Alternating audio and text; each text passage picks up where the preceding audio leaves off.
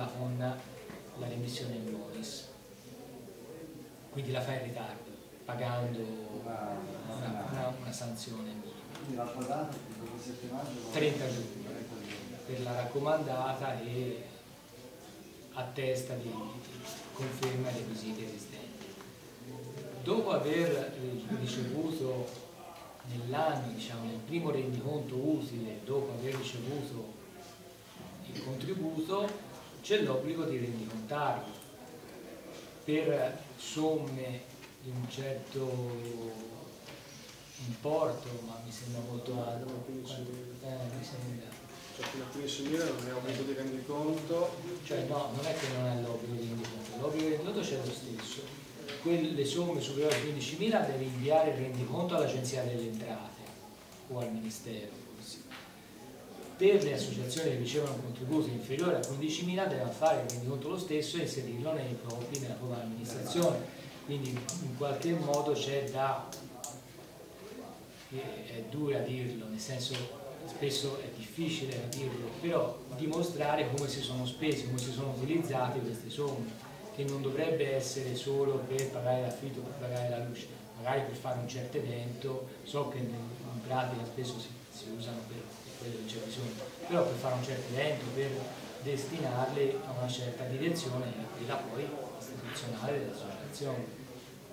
Quindi l'obbligo di mettere una sezione proprio rendiconto, quello che normalmente si fa in questo periodo, aprile, dove si indica quello che, che, che, come si sono spesi questi soldi ricevuti da, da, da, dai contributi del 5.000. Alla fine dell'anno successivo, quando si approva il rendiconto dell'anno in cui si sono ricevute le somme. Ma ogni quanto devo fare il bilancio che sono un'associazione? Deve fare annualmente.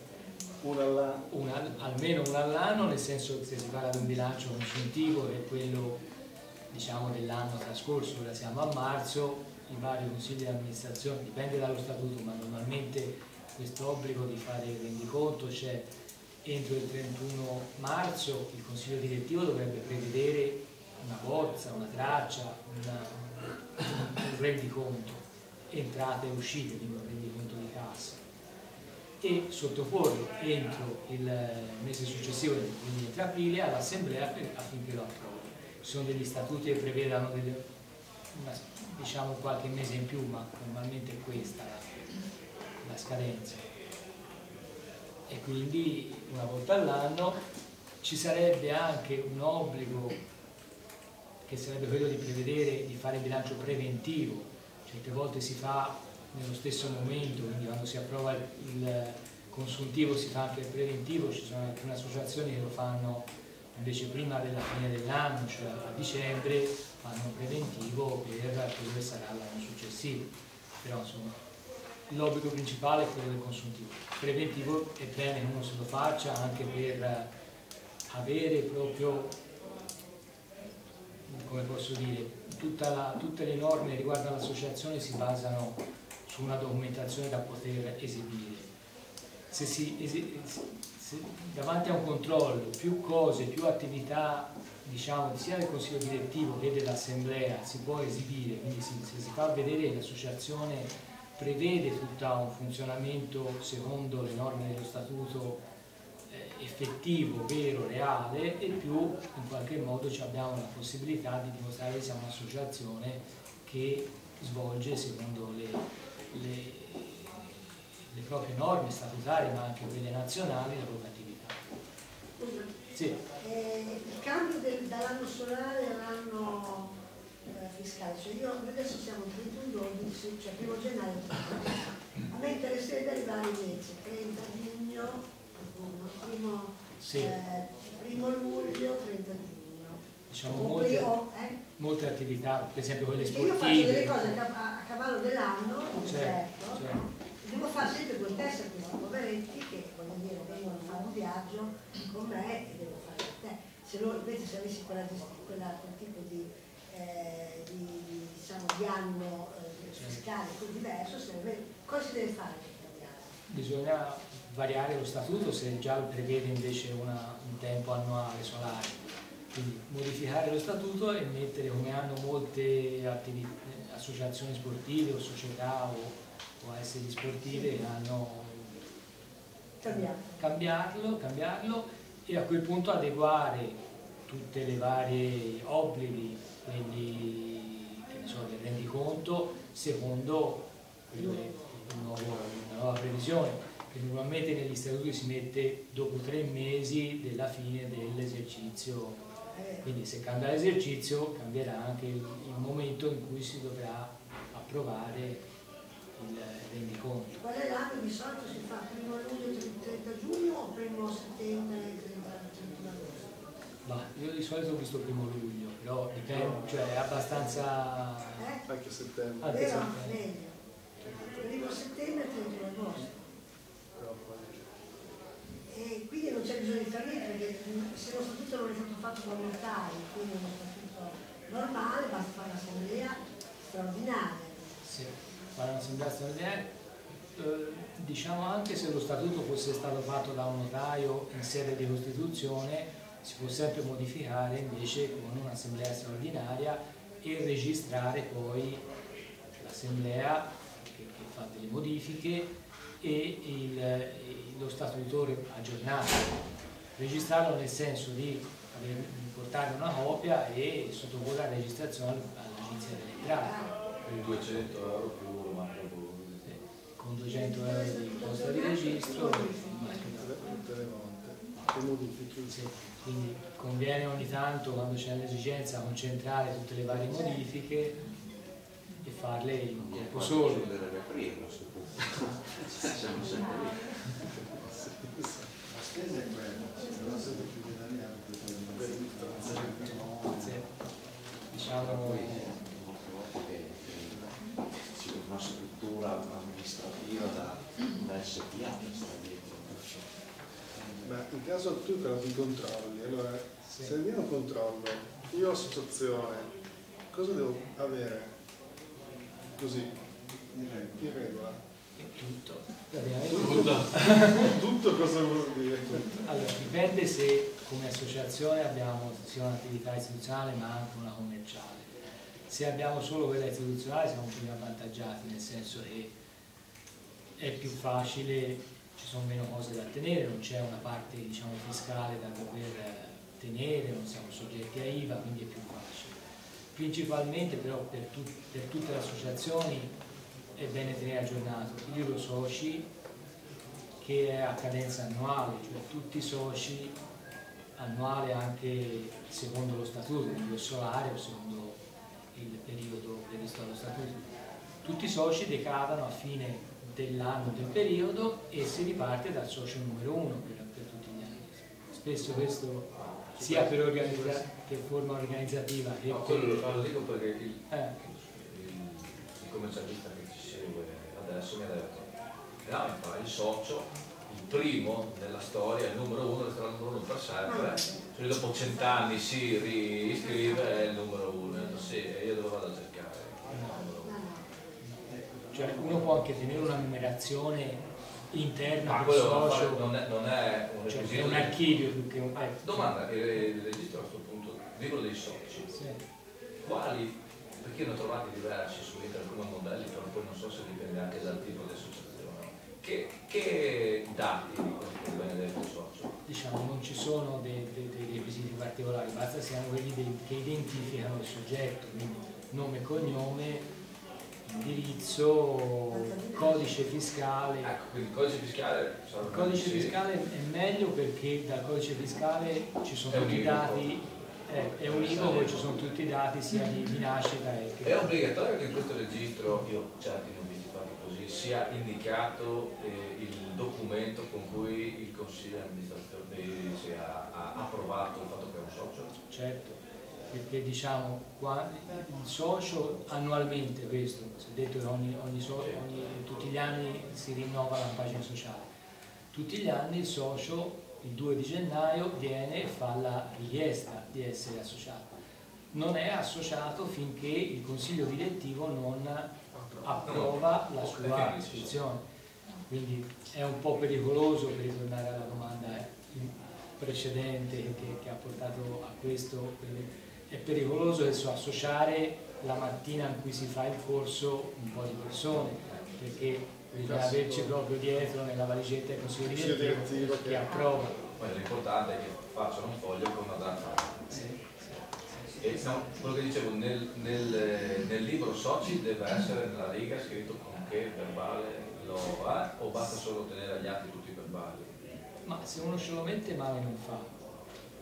È chiaro che se, se perché quello è, diciamo, inserirlo lì fa vedere la cronologia delle ammissioni al socio. Se poi si vede da, da un altro momento, da altre cose, va bene lo stesso, però se c'è è meglio. E poi il libro soci non è che deve avere dei requisiti particolari, può essere anche un foglio Excel in cui... Ecco, libro soci dell'anno scorso posso buttarlo via? Quanto devo no, no, no. Dieci anni, consiglio dieci anni tutti, tutti gli anni.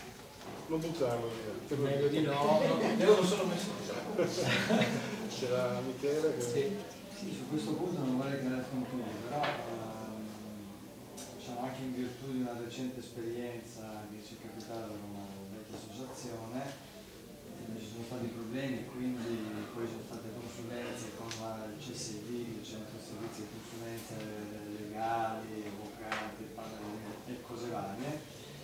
Eh, in realtà è emerso che eh, la qualifica di socio uh, non viene persa mai, anche se uno non rinnova, cioè dal punto di vista economico la quota associativa, cioè rimane socio, a meno che non si dimetta volontariamente, uno dica, non, è, cioè non basta non pagare, sembrerebbe che non basti non pagare la prezzo dell'anno successivo per decadere da, da socio, a meno che la persona non uh, si dimette, dice mi dimetto da socio, non voglio più far parte, o a meno che non, viene, non venga messa, uh, cioè non venga fatta ma messa in mora.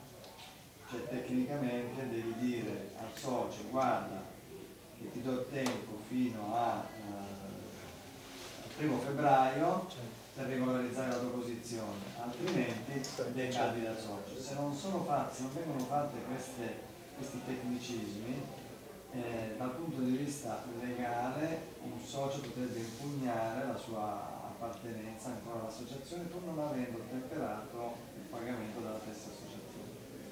Questa è una cosa, una cosa che ti informo perché eh, siamo, ci siamo confrontati con questo, a tal punto che adesso nella nuova associazione che sto fondando eh, ho inserito nello statuto questa cosa. Allora, se lo metti nello statuto non hai più bisogno di metterlo in buona dopo perché lui accettando, eh, sapendo che la scadenza eh, entro il quale deve fare il no, sarà messo nello statuto. Quindi è un consiglio sì, che se, se, dare. nello statuto sicuramente sono d'accordo.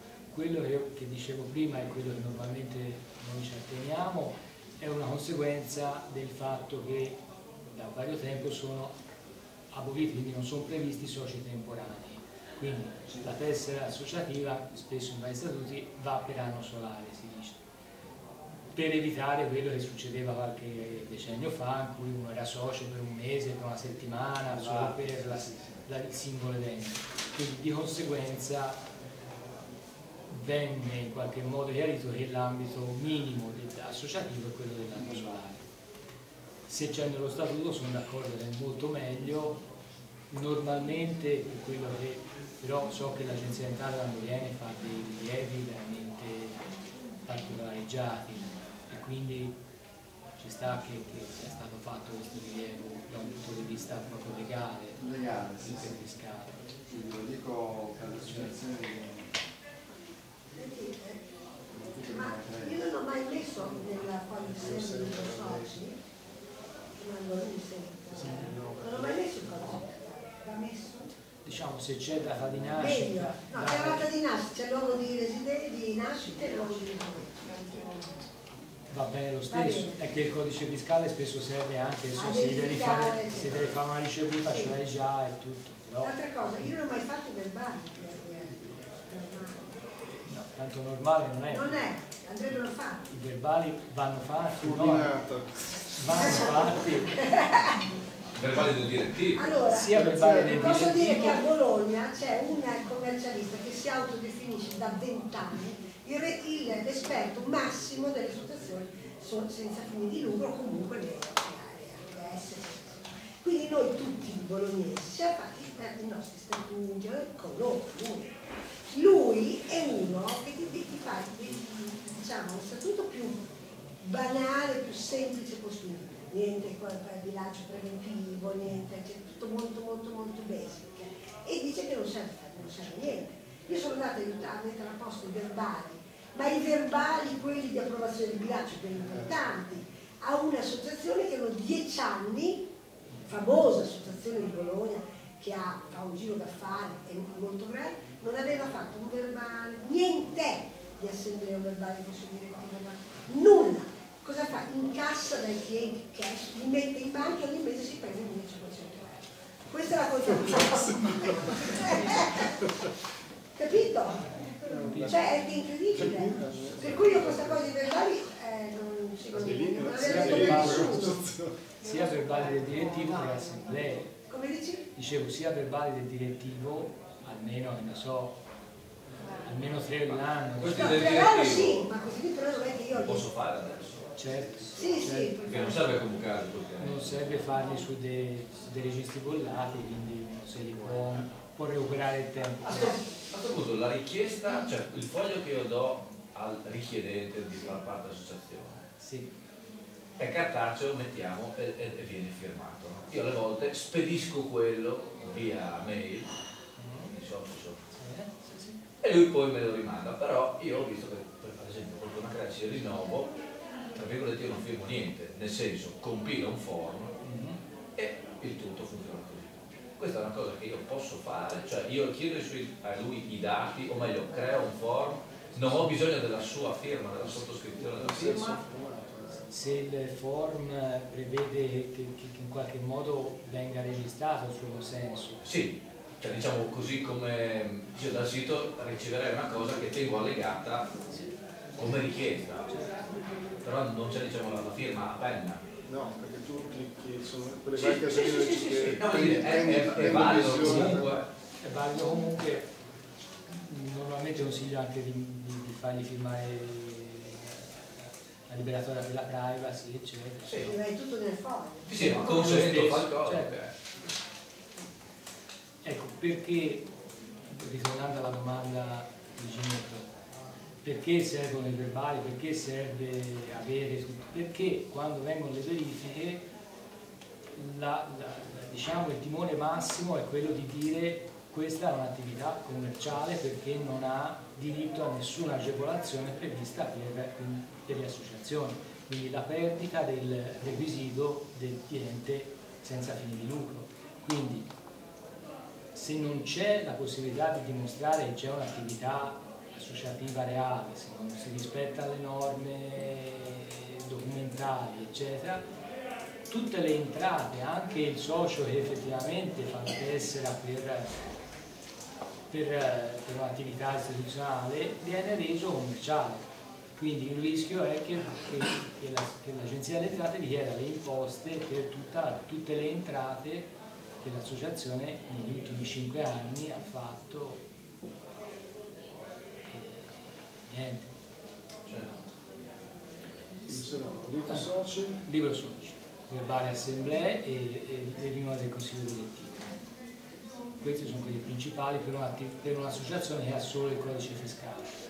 Chi ha anche la partita IVA deve seguire un regime fiscale, quindi deve scegliersi un regime fiscale che può essere quello della, della 398 del 91, quello forfettario, oppure un altro regime che però è limitato fino a 250.000 euro di fatturato anno, oppure un altro regime come fosse un'azienda qualsiasi, normale, semplificato, ordinario, finito.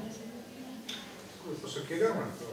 Certo. Prima hai detto è pericoloso fare le tessere volanti alle persone magari che entrano quel giorno in associazione per fare un corso.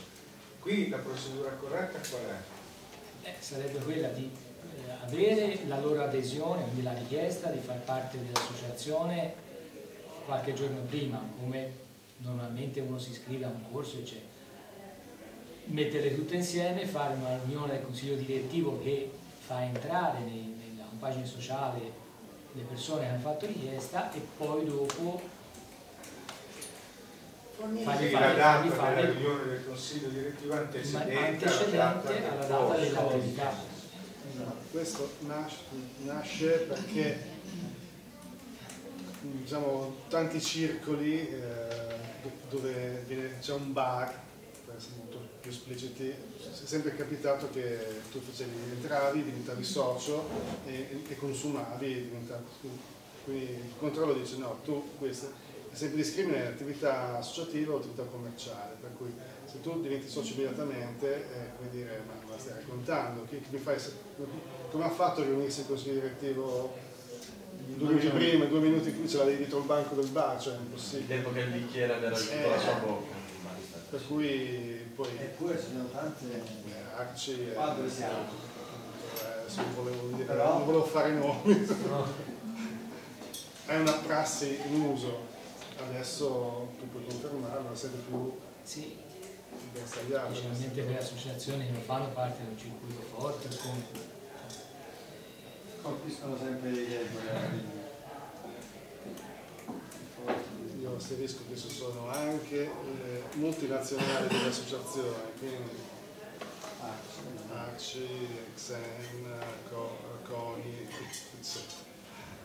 In realtà bisognerebbe stare attenti, si diceva, a questa tempistica anche quando so, si riceve un acconto da, per un corso, nel senso nel momento in cui viene, fa la richiesta e lascia un acconto. Andrebbe un attimino messo in stand by l'acconto, nel senso non gli posso fare una ricevuta a un non socio senza che sia fiscale. Prima deve essere socio, poi devo fare una ricevuta. Quindi tutte le entrate che derivano da, da, dall'esterno devono essere fatte per essere non commerciali nei confronti dei soci già iscritti gruppo social. Ma è vero che non, non c'è l'obbligo della ricevuta? Allora, se si, chiama, se si intende ricevuta fiscale... No, no, ricevuta, ricevuta, cioè nel senso che eh, a fronte di un'iscrizione, un corso, eccetera, non c'è nessun obbligo.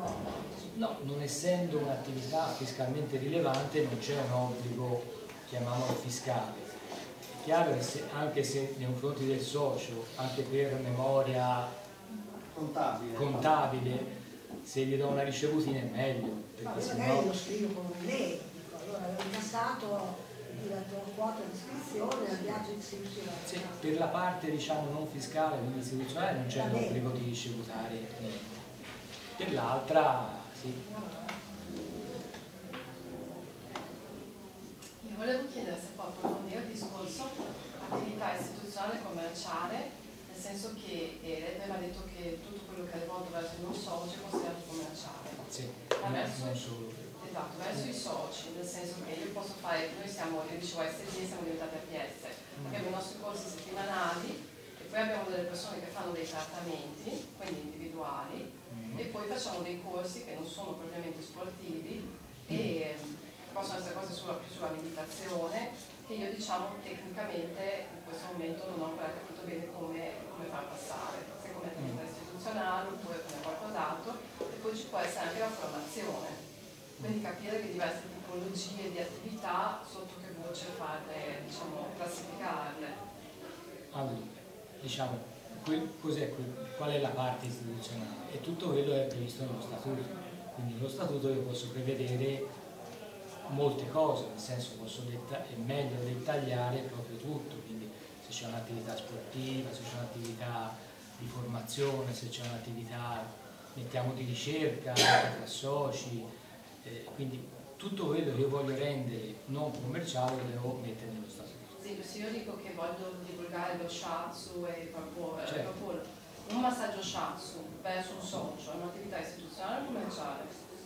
Ma, eh, secondo me un'attività istituzionale, è chiaro che va un po' vista, va un po' inquadrata, nel senso che eh, se, se questa attività io la faccio in maniera proprio costante industriale, cioè come fosse una palestra che tutti quelli che vengono si fanno dei massaggi eccetera, allora ci sono anche dei requisiti proprio dimensionali che io trovo che su questo ci sia molta confusione, eh, so, perché so. i commercialisti da cui ho, con cui ho parlato tendono a dire devi tenere separato l'attività istituzionale, cioè ritendi un corso e un servizio che tu offri come professionista al tuo socio. Comunque dicono il professionista dovrebbe essere registrato, fare fatture per partita IVA e quindi così. Questo diciamo è stata la cosa Sì. che io ho trovato più difficoltà. Allora, io consiglio di inquadrarlo il caso specifico del massaggio o cosa, di inquadrarlo in questo modo.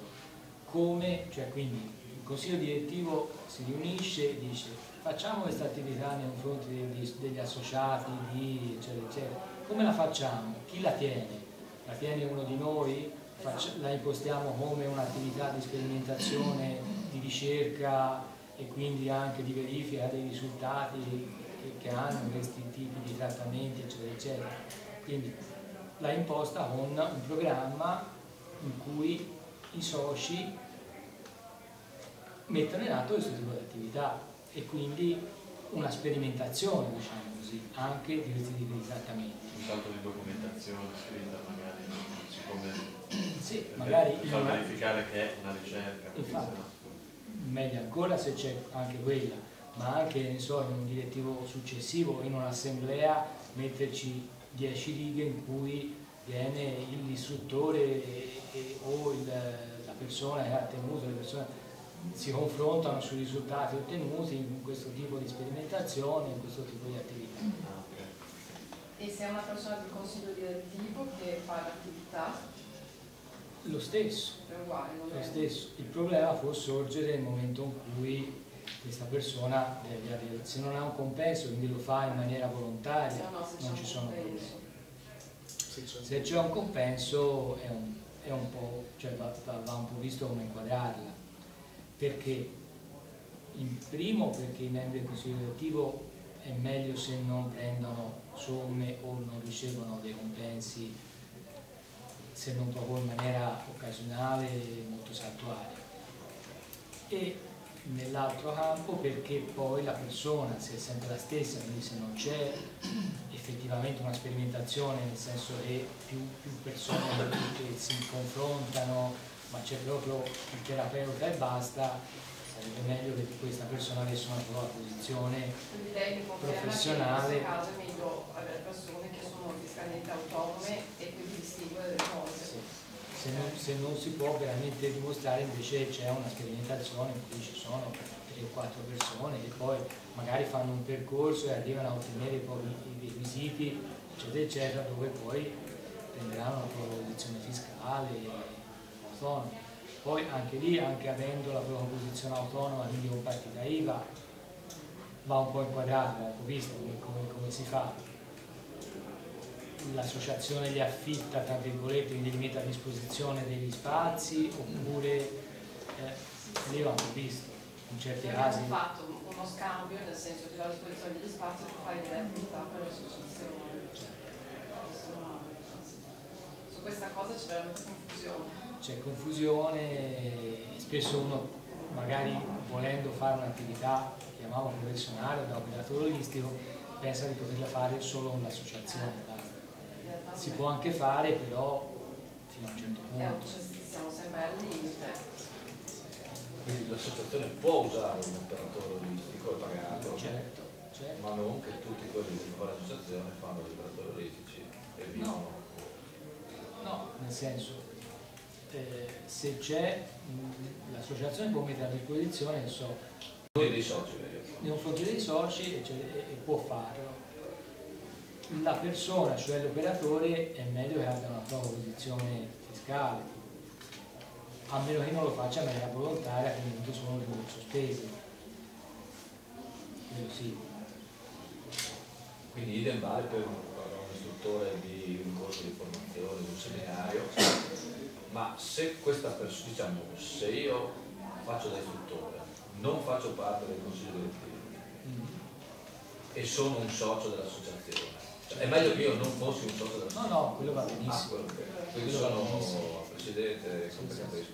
quello va benissimo anche per diciamo, qual è l'attenzione anche nelle ultime leggi, che le associazioni si prendano tutta una fetta di mercato e operano in, in condizioni di non concorrenzialità con il mercato, nel senso offro dei servizi, io li offro a 20 euro e fuori costano 50, però il fatto che sia un socio che lo fa nei confronti degli altri associati è una, in qualche modo una, va, va, in questa direzione, dice sì, lo fa 20 euro perché tutta la catena, anche il istruttore o il terapeuta mi fa dei prezzi di favore perché lo fa nei confronti di associati. Ovviamente io sarei un istruttore di sportivi, non c'è qualifica. Ma quello su questo, questo si apre un altro mondo. Di cui ve ne può parlare poi cacao. Un corso come ad esempio un corso uno sportivo tipo di meditazione o di questo tipo di cose, come va rivolto ai soci? Sì. Se è stato inserito nella... Allora, statuto, è un'attività istituzionale un'attività istituzionale. e la persona come viene pagata che fa questo, questa attività? Mm, questa domanda che tutti Eh. i giorni. Eh, che deve avere una posizione fiscale. Se ha una propria posizione fiscale è. Come è a posto? Fa la fattura? fa la fattura all'associazione, la sì. ritenuta d'acconto, eccetera, eccetera. E lì è a posto. È a posto, è a posto, anche se sì, diciamo è a posto, non mi voglio ora mettere No, non ci mettiate dubbi. Voglio dire, però, ecco, perché Se non ha una propria posizione può fare una prestazione occasionale fino a quando fino ai limiti dei 2000 euro, 2045, mi sembra sia. All'anno. all'anno nei confronti della stessa nel rapporto tra associazione e diciamo, professionista. Il professionista ha un proprio limite di 5.000 nei confronti di più committenti.